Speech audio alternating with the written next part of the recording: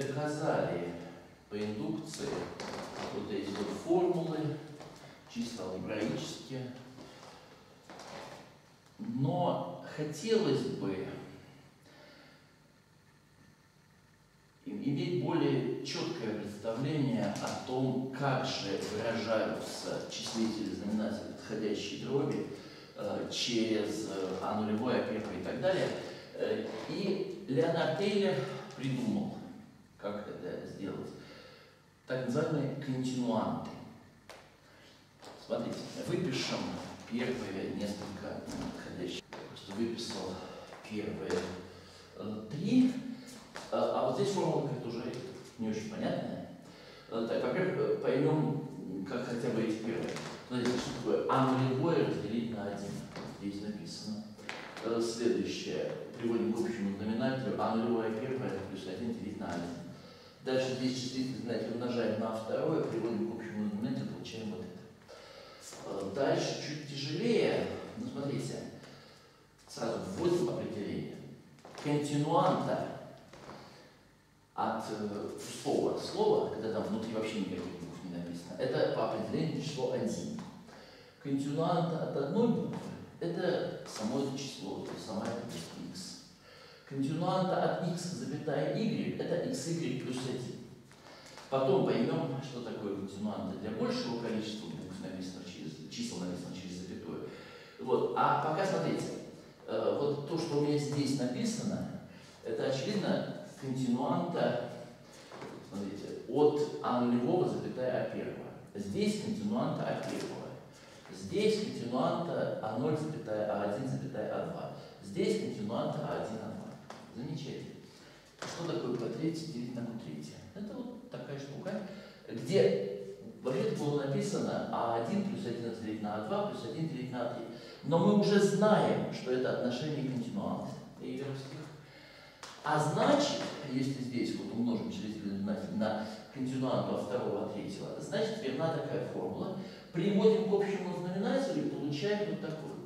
Смотрите, со знаменателем вообще все понятно? То есть это А1, А2, А3 плюс А1 плюс А3.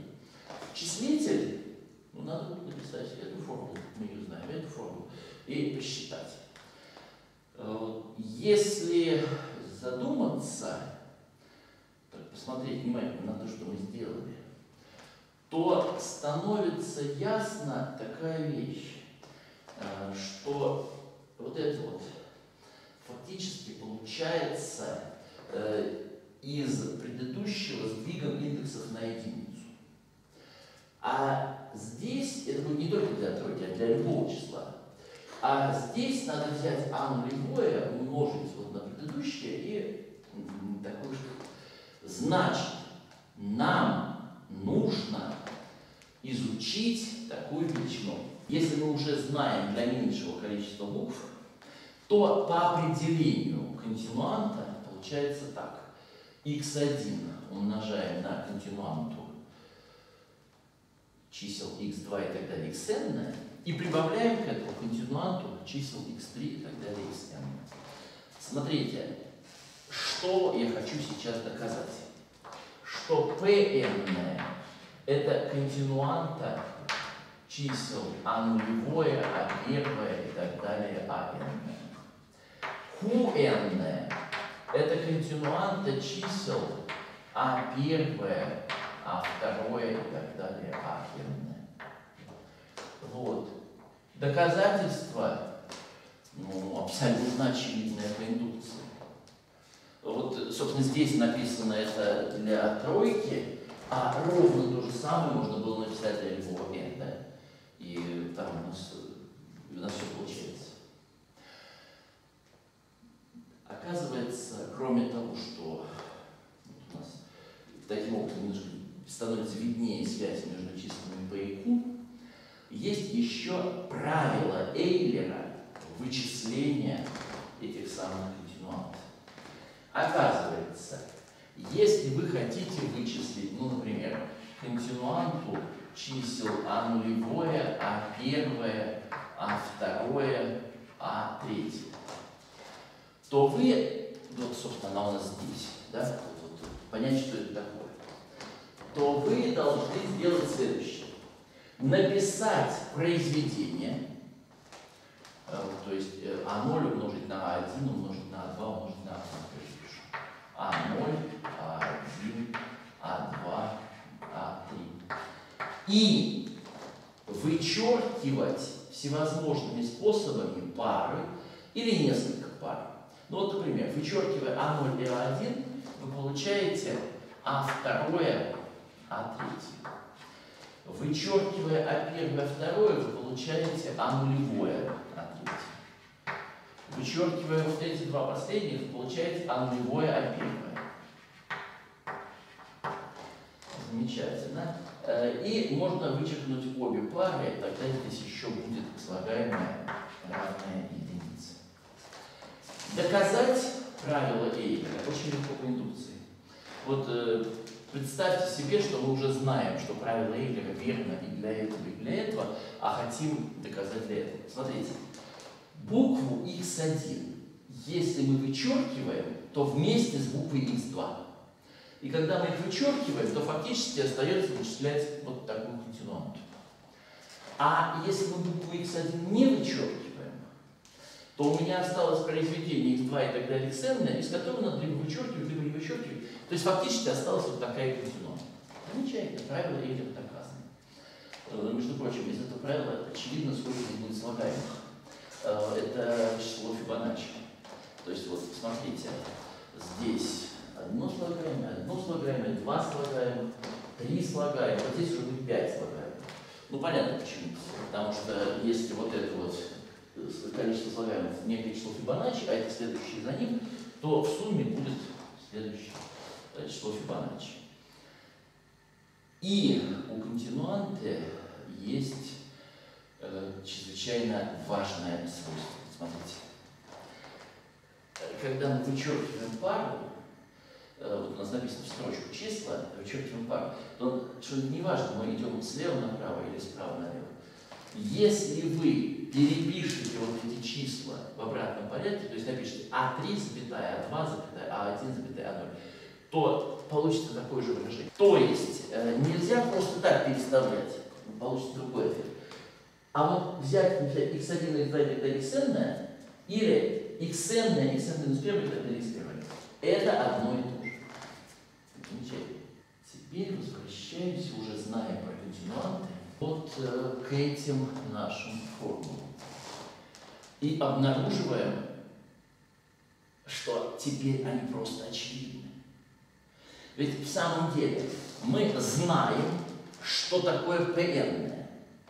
PN это континуанта чисел А нулевой и так далее АН. Мы знаем, что это континуанта, мы знаем, что это континуанта. То есть фактически мы должны проверить некоторое равенство для континуанта. Вот здесь вот у нас было написано доказательство по индукции. Э, давайте я его сотру. Э, и сейчас более естественно. То есть э, доказательства, конечно, не бывают, потому что он это хуже или лучше, в смысле истины. То есть, конечно, если у нас есть доказательства, то оно либо верно, либо нет. Но то, что вы сейчас увидите с континуантами, конечно, гораздо более естественно, э, чем то, что мы там доказали по индукции. По индукции это была проверка. А сейчас мы понимаем, из чего это случилось. Смотрите, вот это раньше что такое. Это мы должны доказать, что континуанты чисел, а нулевое, а первое и так далее, а n, да, вот у нас pn, равна АН умножить на континуанту чисел А нулевое и так далее, АН минус 1, плюс э, континуанта чисел А нулевое, А первое и так далее, АН минус 2. Вот это равенство э, так записывается. Замечательно. Э, но смотрите, континуанта не меняется, если числа записать в обратном порядке. Значит, здесь будет АН, АН минус 1 и так далее, А нулевое. А, это нужно проверить, что то же самое, что АН умножить на АН минус 1 и так далее, А нулевое плюс, здесь тоже в обратном порядке напишем, а n минус второе и так далее, а нулевое. Ну, господа, это просто определение. Помните, у нас ровно такая формула была определением Кутиманта. Все. Разумеется, для Q ровно то же самое. А зная эти формулы, очевидно, по индукции легко получить это.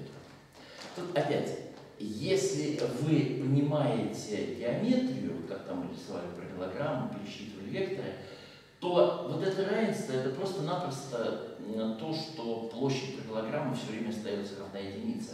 То есть у него есть замечательный э, геометрический смысл. Вот. Э, но, ну и, соответственно, это тоже имеет абсолютно э, четкий геометрический смысл, просто как очередной вектор вычисляется э, по двум предыдущим.